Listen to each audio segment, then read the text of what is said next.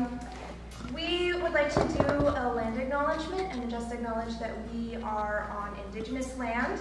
Um, the Missoula and Bitterroot Valleys are originally the homelands of the Salish and Pend d'Oreille people who inhabited this land since time immemorial.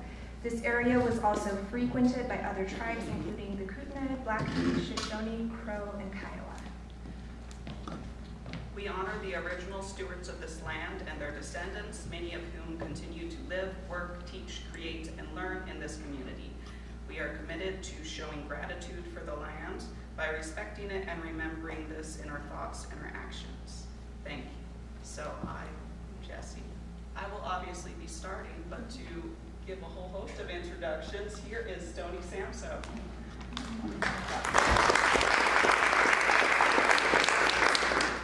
Hello, can y'all hear me okay? Is the audio good? Excellent. Um, uh, thanks for that uh, land acknowledgement. Um, I, my name is Stoney Samsoe, as Jessi just mentioned. Um, I am the, uh, what do I do? I'm the executive director and co-founder of Western Montana Creative Initiatives and the Open Air program. Um, I'm going to give you like the quick skinny of what Open Air is. It's a place-based artist in residence program. We connect artists with unique sites around Western Montana.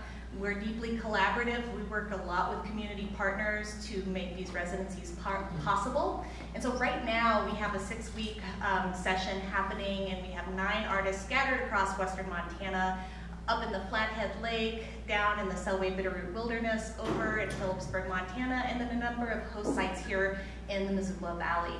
Um, these artists are coming from across disciplines. So we have visual artists, we have performers, we have a mime, we have um, a dancer, we have, it's, it's, amazing. And there's a lot of writers actually scattered amongst um, all of them. Uh, we love to provide the opportunity for the community to connect with these artists. And a, a unique thing about residencies, maybe many of you in here are familiar with the term, but um, it's basically an opportunity, a space to um, hold, create a supportive environment, um, financial support, time, community, for an artist to be able to research, get curious, connect, discover. It's really about process. Oftentimes people come into contact with creative practice through a finished result. You go to an exhibition, you go to a performance, you go to the kind of the final node of creative genius. Um, but a residency is about the process that it takes to get to that point. It's about the unknown. It's about the discovery. It's a little more vulnerable. And so when you come to these presentations, you're actually seeing artists in the middle of their creative process. Um, and so we are bold in asking them to come up and share their process with you. And so that's what you're going to come into contact with today. And so especially I, I want to kind of give that context as we're standing here in a in a performance space. And so oftentimes this container, maybe a, uh, an audience might have an assumption about what they come into contact with in, inside of a performance space. So this is gonna be a little more process-based. Um, okay, that, that's enough about that. Um, so I, I, just want to acknowledge some of our supporters. Our work is made possible um, by a, a, host of um, individuals such as yourselves. Um, also, our, our our work is made possible by support from the National Endowment for the Arts, from the Laura Grace Barrett Family Foundation Fund, and from the Llewellyn Foundation. We also would like to acknowledge and thank our luminary sponsors this year with Clyde Coffee and Blackfoot Communications.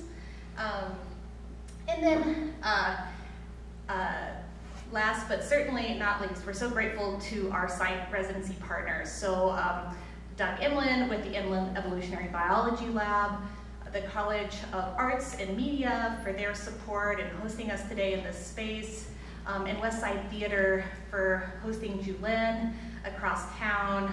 Um, it, has been, it's wonderful how many community partners come together to make this actually happen. And so before we introduce Jessi, who's gonna kick us off, actually I'd like to invite Doug Emlen up here to ground a little bit about the lab, the Evolutionary Biology Lab, where they have been in residence during this time. What is that, we ask? Doug will answer.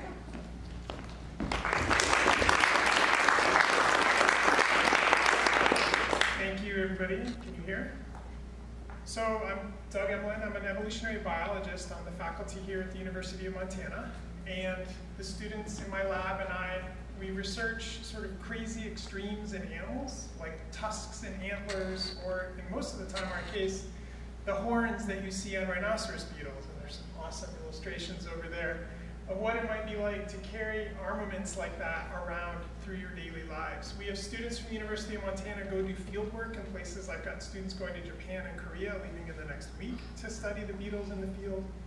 But we discovered, sort of by accident, students actually discovered, that the beetles not only battle with each other with these weapons to fight over territories the same way that deer or elk might guard access to a harem, but after doing all these fights to guard a territory, the females come into these territories and they completely ignore the males, and they reject all the males. And the males climb onto the backs of the females and begin to sing. And we now know that they do three different types of song, and they do these jiggling, head-bobbing dances. Nobody expected that from these beetles. It's been sort of a wild, fun journey to try to figure out what's going on with these behaviors. So while we've been doing the science, it's been a really fun opportunity, the first time for us to partner with an organization that sponsors the art, to have these two incredibly talented artists just hanging out in residence in the lab, listening to recordings of the beetles and watching videos of the insects and actually studying the animals and sort of being immersed in the chaos of the lab, trying to get people ready to go do field work in another country. It's been a joy to have them in the lab, and I'm super excited to see what they've been able to come up with. So, thanks.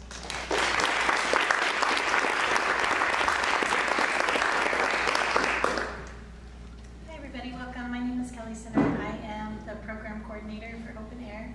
And just to let you know what's going to go on tonight, uh, first of all, Jessi's going to give her presentation, and then we're going to take a little bit of a, um, just a real and then Julin will do her presentation, and then after they're both done, that's when we'll do question and answer for both artists. And then after that, we will have some snacks. So um, outside, after we're done with the event, please stick around and meet the artists and come have some treats with us. Okay.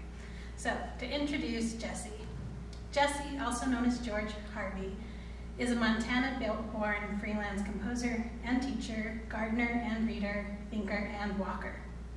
Works are based in the natural world, integrating social curiosity and environmental causes, described by Seattle Mag as full of surprises and consistently attention-holding, and clarinetist Julia Lougheed is diving into the absurd corners of the human condition, the moments where you have to laugh so you don't cry. Their work, by the nature of our conversation, was awarded first place at the 2020 Darkwater Womxn in Music Festival's competition, composition competition. Jessi has been commissioned by Opera Elect, the Art Song Collaborative Project, Karin Stevens Dance, and LA duo Strange Interlude, among others. Music has been performed throughout the United States and Canada, including the Waterloo Contemporary Music Sessions, Music by Women Festival, and the Montreal Contemporary Music Lab. So, welcome, Jessi.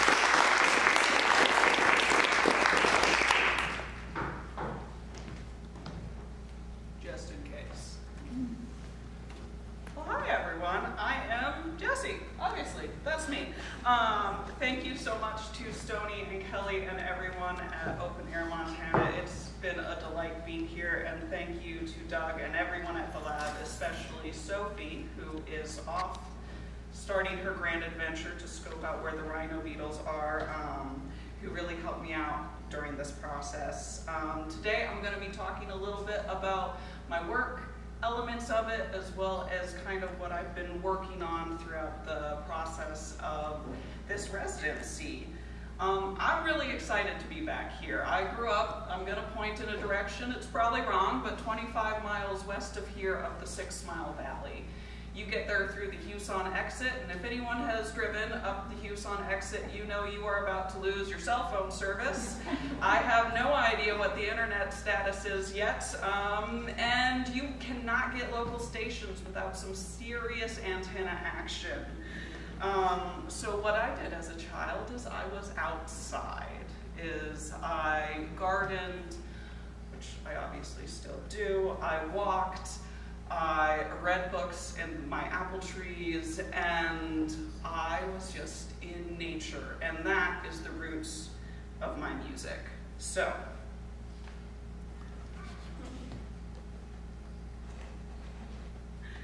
I write music based in a love and curiosity of nature, and with the even bigger hope to share that love and curiosity with the listeners.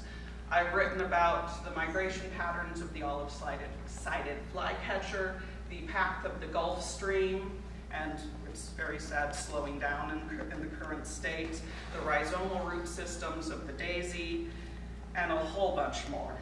Um, what I do with each of my pieces is I do a lot of research into what I'm writing about, and I learn as much as I can. And from there, I transform that information into my structure and a story that I kind of, it's like a visual movie is happening as I write a piece. Techniques used, obviously a whole bunch. I use a combination of traditional notation, improvisational aspects, graphic scoring, performance directions, poetry, and illustration. So this is a very recent piece. It's for improvised uh, contrabass clarinet and looping pedal. Um, it is both a very silly song about the process of growing potatoes, which is my favorite thing to grow, and also uh, about the paths we take through life because you can choose your own way through this piece. So that's why the top it says two through five. It can be at any points in movements two through five. So, this, this is by the nature of our conversation. This piece describes and is about one of the major things I think about a lot in my music um, and use nature to process. And it's both very personal to me as someone who has a lot of anxiety, and doing something like this causes a lot of anxiety, and also is talked about in the news a lot, um, and that is the confusion of communication. How do we communicate? Uh, how do we describe something using the right words? How do you make a new friend? How do you unmake a new friend?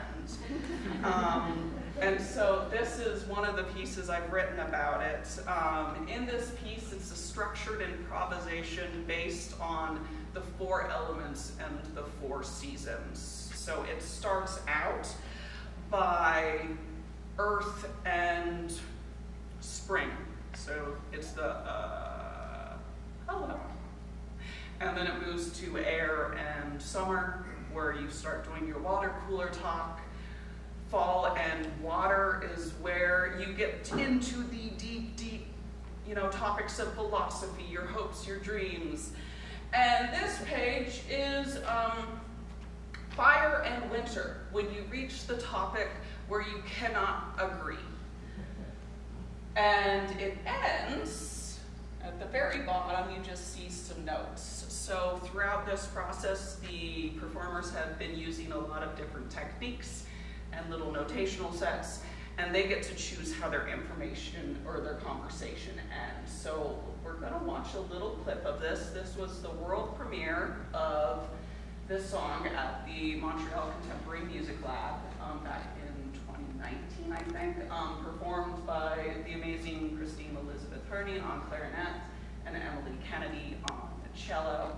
Um, so we'll first see a little bit of the chunk uh, where that the last score page was referring to. It's not your typical music piece.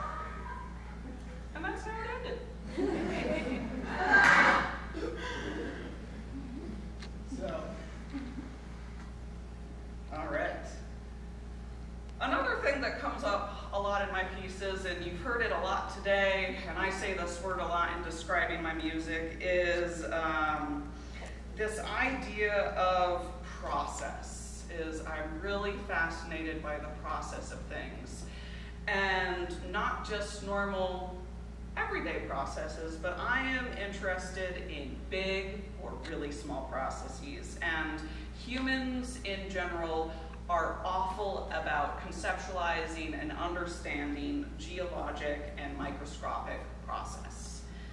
So what I like to do in my music is if I'm looking at a process, um, is I like to reframe it, reconceptualize it, and make it into something that maybe is a little bit more understandable or gives just a little glimpse of the, the scale of what I'm working with. Um, one of my favorite pieces uh, I've written about this is called 10,000 Years of Rumbling. Um, and it's a solo piano piece that traces obviously the last 10,000 years of eruption history of Washington's five active volcanoes and crunches it into about 20 minutes.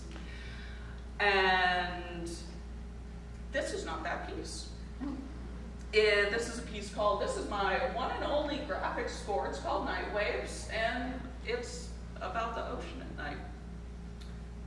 Okay, to summarize, those are just some of the areas I work with in my music. Um, I also really love dealing with humor.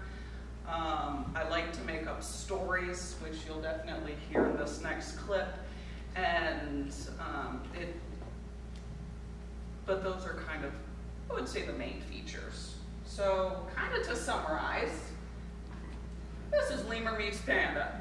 Um, I wrote this piece um, during 2020 where I wanted to write something really, really joyful. Um, it was a commission by uh, two of my undergraduate cohorts who formed the LA duo Strange Interlude. And we had recently reconnected, and they commissioned me for this piece, and they were also like, please write us something happy. Um, so I asked them, what's your favorite animals? And it is obviously a panda, which is endangered, and a lemur, specifically an aye-aye, which is also endangered. And to create this piece, I did a lot of research, and then the story is the imagined pen pal ship of an aye-aye and a panda and how they became friends. Um, in the clip you're going to hear, it is the end of their kind of back and forth of, do you like the night? No, I like the day. Do you like this? No, I like that. Oh, okay. And then at the very end of it is the one thing that everyone can agree on. Both animals love to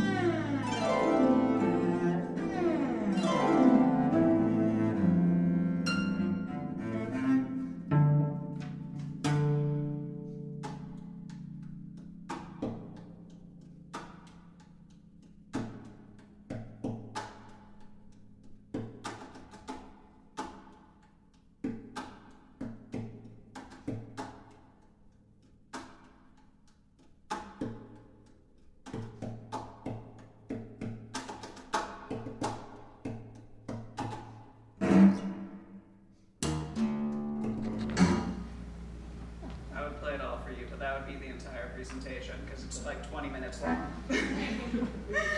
um, okay, so we're going to move on now to dun, dun, dun, the star of the show, Rhino Beetles. So I was so excited when I saw this opportunity to come up because um, rhino beetles. I was thinking about why I was so excited um, to apply for this. And actually, uh, for those with small children, if you've ever gotten a cricket magazine, they have all their little characters go through the bottom of the magazine.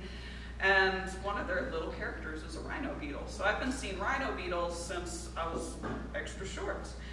Um, and then because so much of my building and my music is research based, it was really excited to be in a place of research. I normally am just doing everything the best I can on my own through local libraries or the internet.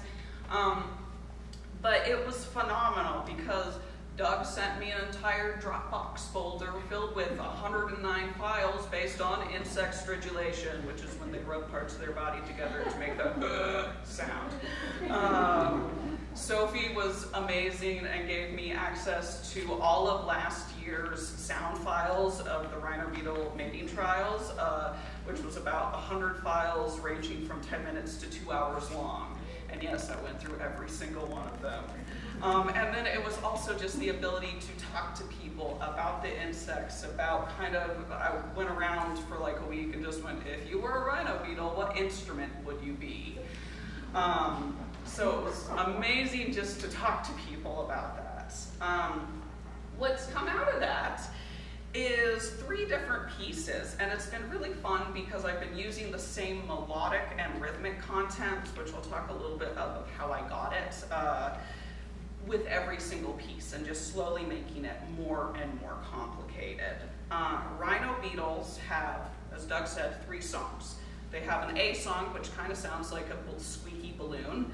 Um, they have a B song, and the A song is used mostly for alerts and talking to male, other males. The B song is just for females, and it kind of sounds like the insect version of a purr.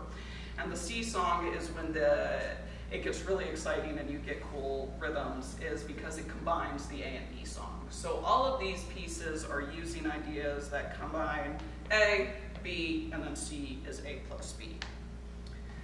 So we're going to listen to this clip, um, a little bit of this clip of the rhino beetles, and you'll kind of hear some of the really amazing sounds that they can make. Um, pay very close attention to the beginning sounds because I use those in the first song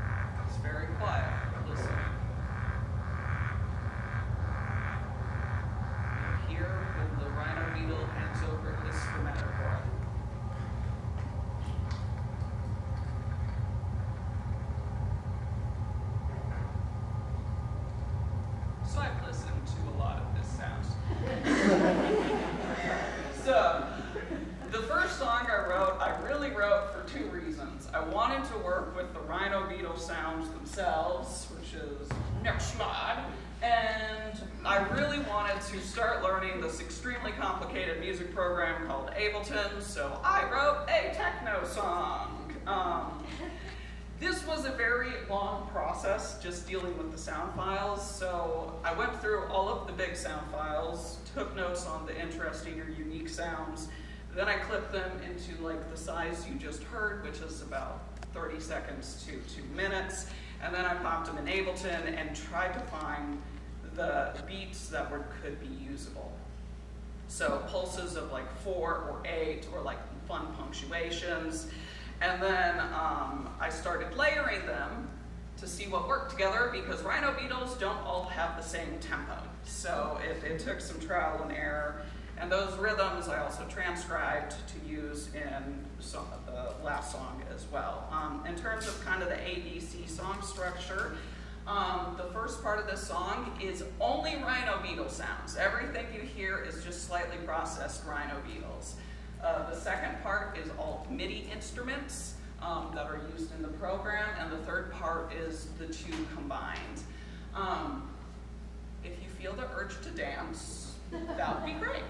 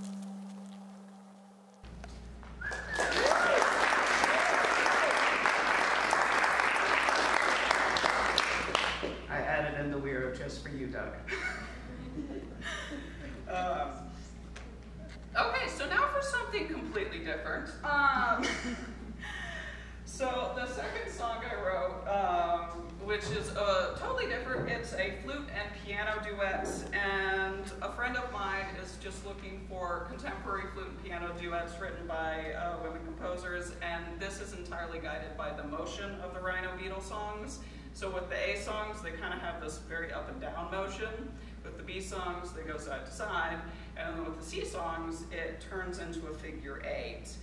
And what you'll find is in this song, you can kind of trace the motion that I'm, I'm playing with. It also tells the epic story of courtship, rejection, renewed courtship, and glorious gene pool success. Um, the clip that you heard that the, the techno song kept going um, is transformed into flute melody, so that will come back. And yeah,